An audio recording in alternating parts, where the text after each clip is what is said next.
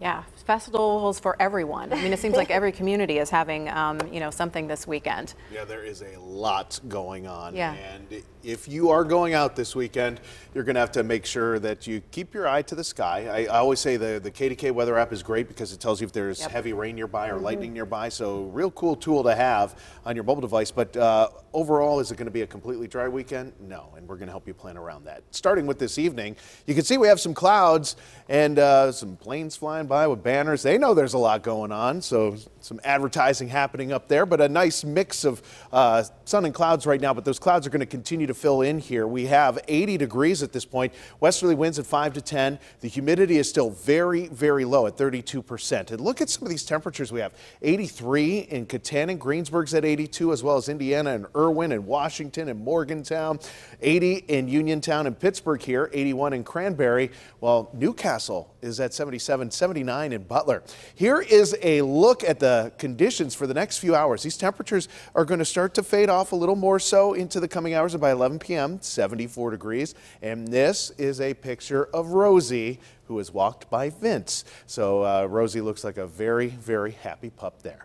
Now, when it comes to this next system coming in, we're going to see this rain pushing towards us. But remember, this is going to be encountering that dry air. So I think a lot of the rain is going to evaporate as it gets closer to us because uh, moisture and dry air don't always get along. You need to get that air juicy enough to support the rain or the, the thunderstorms. And typically, with lighter type precipitation, you need this relative humidity more at 60% or greater to pull off some rain here at the surface. So I think the rain's going to have a little bit of a struggle once it gets here, but there's still going to be enough to provide possibly some light sprinkles in the morning, tomorrow during the afternoon, maybe a little passing shower trying to develop there as well. But I do not think Saturday is going to be a washout. Sunday, we're going to see a chance for some thunderstorms developing again.